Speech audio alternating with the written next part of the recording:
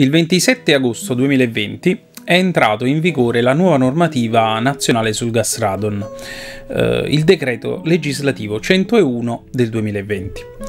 Questo modifica integralmente tutta la legislazione precedente in merito alle radiazioni ionizzanti.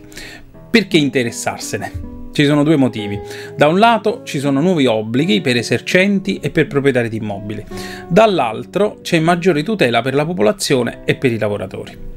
I limiti tollerati di concentrazione di gas radon sono stati abbassati ed è stata introdotta la misurazione obbligatoria anche al piano terra, con una frequenza di una misura ogni 8 anni. Questo sia per le abitazioni e sia per i luoghi di lavoro. Eh, premetto che questo è un video molto sintetico ed è rivolto a chi già conosce cos'è il gas radon e vuole approfondire velocemente gli ultimi aggiornamenti al 2021. Nel caso in cui eh, non sai cos'è il gas radon, riporto il link di un altro mio video in descrizione che lo spiega.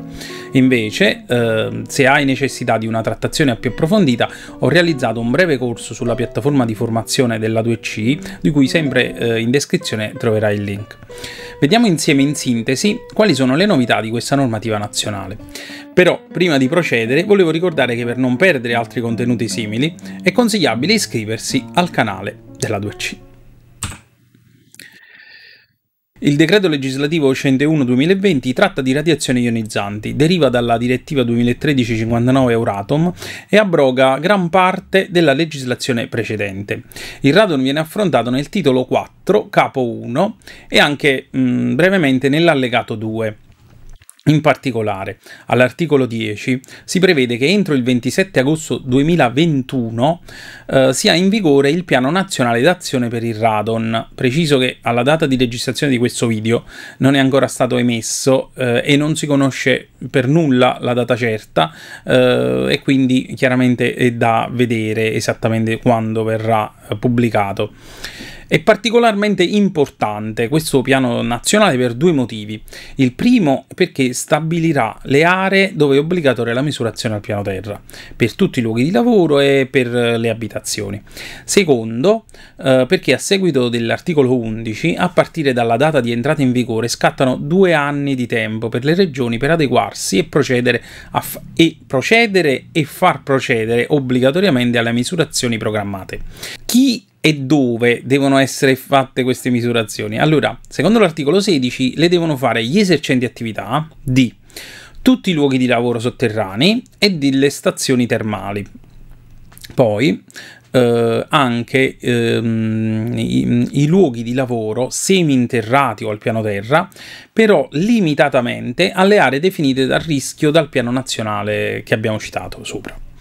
Secondo l'articolo 19 eh, le devono fare anche i proprietari di abitazioni con almeno un locale a piano terra o anche seminterrato o interrato. Però eh, limitatamente alle aree definite a rischio dal piano nazionale che abbiamo citato. Chi materialmente fa queste misurazioni annuali di concentrazione di gas radon? Secondo l'articolo 155 li faranno eh, i servizi di dosimetria con riconoscimento ottenuto da istituti precedentemente abilitati. Eh, è una definizione molto generica, ma eh, così è riportato letteralmente nel decreto. Ogni quanto si devono ripetere queste misurazioni? Allora, secondo l'articolo 17, ogni 8 anni. Inoltre si devono poi ripetere in caso di ristrutturazione o interventi di miglioramento dell'isolamento termico. Quali sono i limiti di concentrazione? Allora, in passato per i luoghi di lavoro il limite era di 500 becquerel al metro cubo. Ora, a seguito dell'articolo 12, sia per le abitazioni sia eh, per i luoghi di lavoro si passa al limite di 300 becquerel al metro cubo. Inoltre, dal 1 gennaio 2025 per i nuovi edifici il limite è invece di 200 becquerel al metro cubo. Cosa succede se si superano questi limiti? Occorre eh, procedere alla bonifica e poi ad una nuova misurazione annuale. Secondo l'articolo 17, nel caso dei luoghi di lavoro occorre incaricare un tecnico che abbia i requisiti espressi dall'allegato 2. In sintesi estrema, eh, deve essere un ingegnere oppure anche un architetto, un geometra, deve aver seguito un particolare corso abilitante.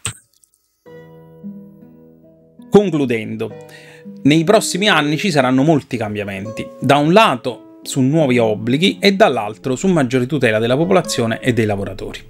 Questa nuova normativa è vasta e questo video ha dato solo un accenno generale. Se si ha necessità di una trattazione più approfondita, ho realizzato un breve corso sulla piattaforma di formazione della 2C, di cui si può trovare il link in descrizione. Con questo saluto, arrivederci.